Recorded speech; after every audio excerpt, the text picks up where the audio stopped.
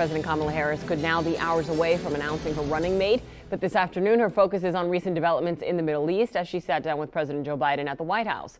Our D.C. Bureau Chief Ben Kennedy is live at the White House with much more for us. Ben.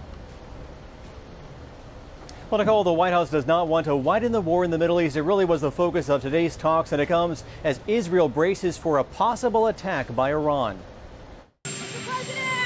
President Joe Biden returned to the White House Monday. First up, a meeting with his national security team to discuss tension in the Middle East, with Iran vowing to take revenge against Israel after the assassination of a Hamas political leader last week. The State Department calling it a critical moment in the region. And it is important that all parties take steps over the coming days to refrain from escalation and calm tensions.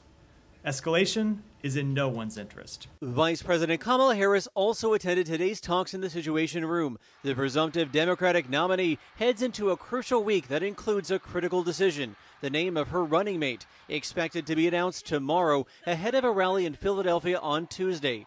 Over the weekend, it is reported Harris met with top contenders, which include Arizona Senator Mark Kelly, Minnesota Governor Tim Walz, and Pennsylvania Governor Josh Shapiro. A series of campaign events are planned with her yet to be announced VP pick that includes seven states in five days, with stops in Arizona, Georgia, Michigan, Nevada, North Carolina, and in Wisconsin.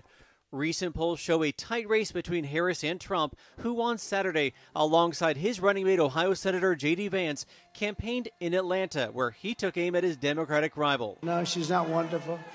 So we have to work hard to define her. We, I, I don't want to even define her. I just want to say who she is. She's a horror show. She'll destroy our country.